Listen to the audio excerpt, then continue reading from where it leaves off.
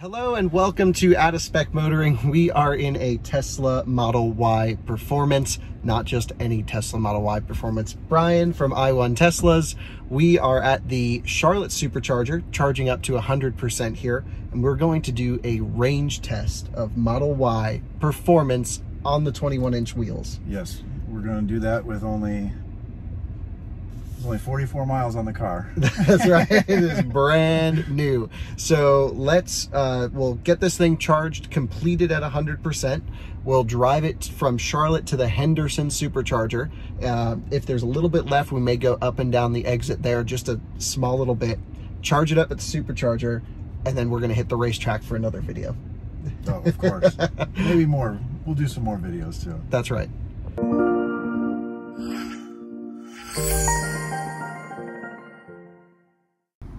We're at 98%, pulling 11 kilowatt, which is really not bad for that state of charge. Let's see where we're going. So you can see we're gonna start here, go all the way up to Henderson. It's only 167 miles. The car's predicting a 27% arrival.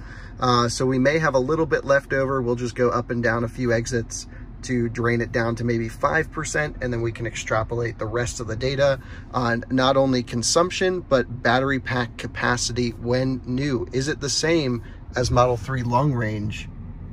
We'll find out.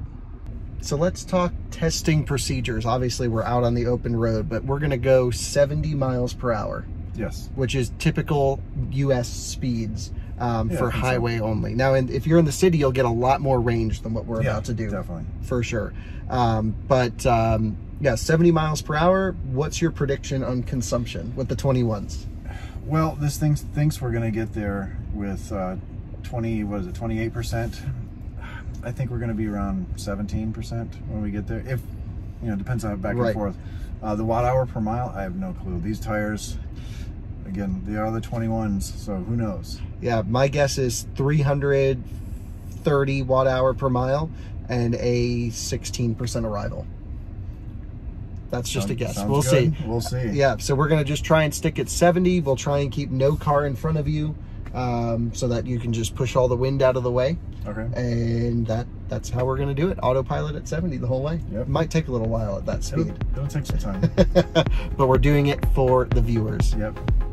As is always the case, it takes a while to complete charging. We'll probably get out of here soon if it doesn't complete. Um, we're also running the fan, which could delay it from completing charging. One thing I do want to point out, it is warm today, optimum road tripping temperature. So this is going to be 70 miles per hour, no vehicle in front, no aero advantage, and uh, range test of Model Y on 21 inch Überturbines. Here we go.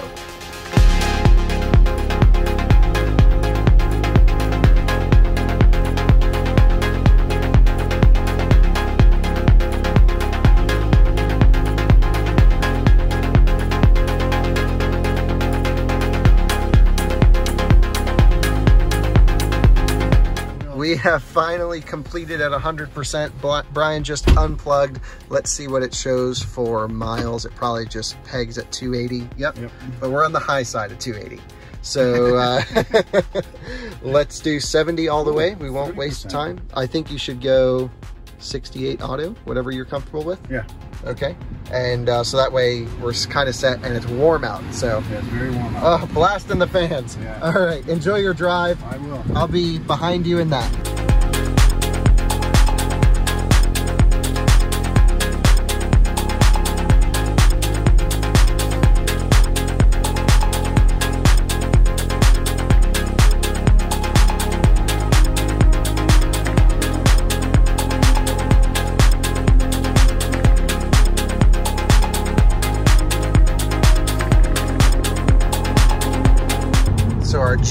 GPS set speed, this is a GPS accurate, doesn't come up so great, but he's doing exactly 70. This car thinks we're doing 71, uh, but that's because I switched the wheels and haven't changed them internally. I still have the 20s on it, not the 18s that I have on this car. Um, that is pretty sweet.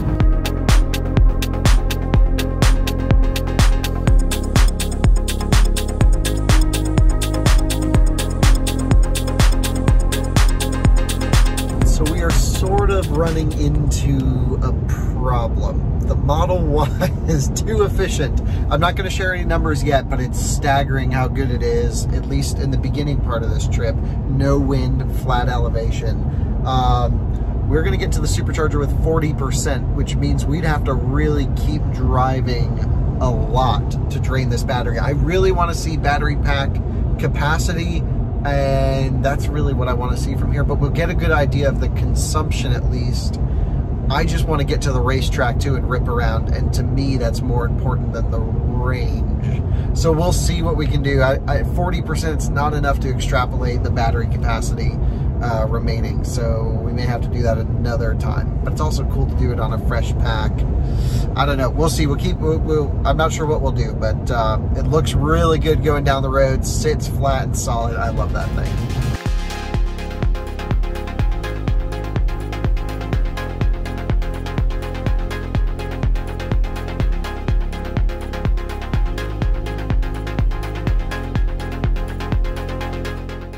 Little bit of change of plans here. We were gonna go to Henderson and then over to the out of spec track.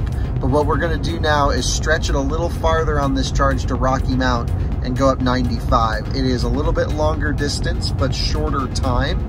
And it will allow us to drain the Model Y's battery pack to a projected 17% arrival, where then we can really get a little bit of a better idea on battery capacity, because then it does not make, uh, add too much time to just drive it down to 5% or so. So that is a good plan. What's crazy is both cars are predicting the same percentage arrival. Um, it's kind of funny.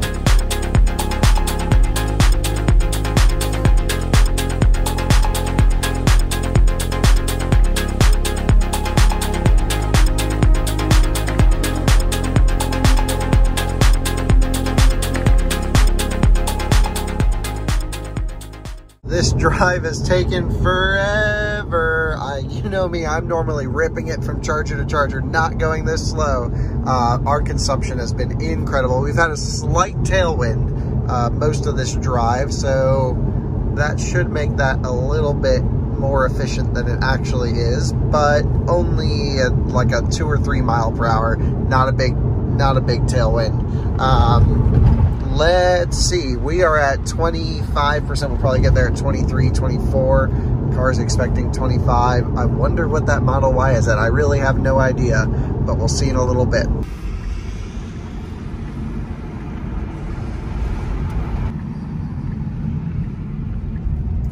Brian, I am tired of driving 70 yes. miles an hour. yeah, so too. I don't think we'll run it all the way down to zero, but we got a great idea of the consumption. So with a small tailwind, tire pressures at 47-ish. It was they're a little yeah, bit bumped 47. up, um, but that's fine. Mm -hmm. We got 270 watt hour per mile. That, I mean, on 21s, that's crazy. I really thought we were going to do at best 325 yeah i thought we'd be in the threes no question. You guys need to look at this. Take a look at this. You can see here a very consistent speed a little bit of hills moving around. 212 miles we used 57 kilowatt hours. There's 62 miles remaining. If we go and take a look at energy remaining. There's 22% left in the pack. We just don't have the time to run it all the way down to zero to get a true energy battery pack test, but it looks like it's right on par. I'll put in some math at the end of this video. And man, this is crazy. This is going to be so good on 18s. Oh my gosh, yeah. it's just going to go yeah. forever. Especially light ones. Yeah. this, yeah, this is way better than I thought. Although we were just doing the speed limit at most of the times. It was 70 miles an hour for a lot of it. And, uh, but autopilot handled great. I mean, I mean, it's a Tesla, but this is a very efficient Tesla for a bigger Tesla. It's arguably almost as efficient as a 3, if not more so. My car, just for reference, did 234 watt hour per mile on the 18s following you, but you were pushing the air out of the way most yeah. of the time. Yeah. So that's why. But wow, cool.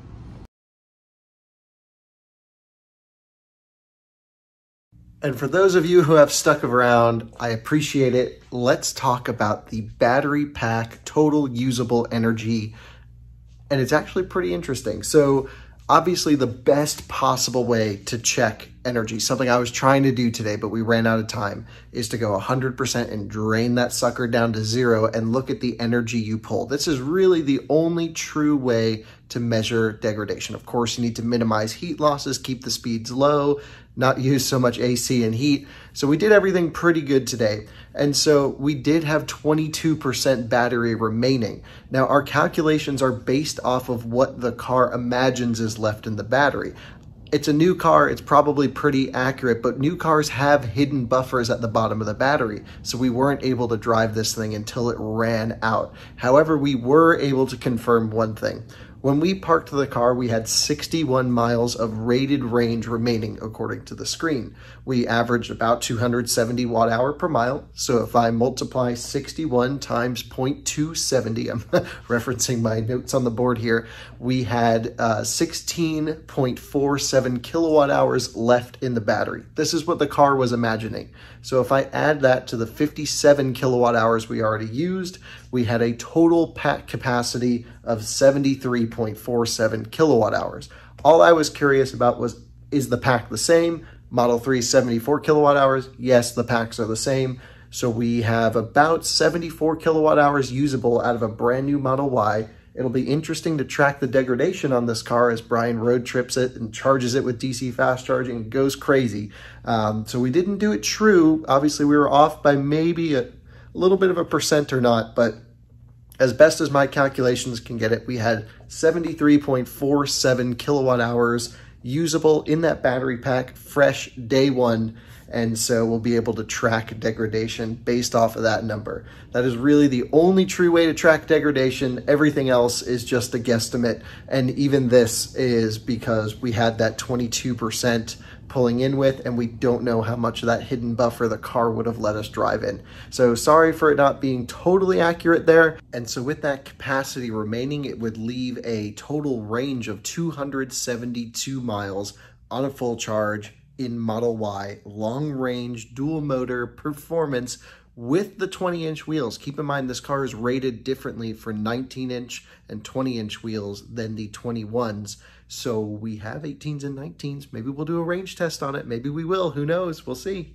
Thanks for watching Out of Spec Motoring. You'll be seeing us drifting around Model Y here shortly. Please subscribe and I'll see you soon. Have a good one.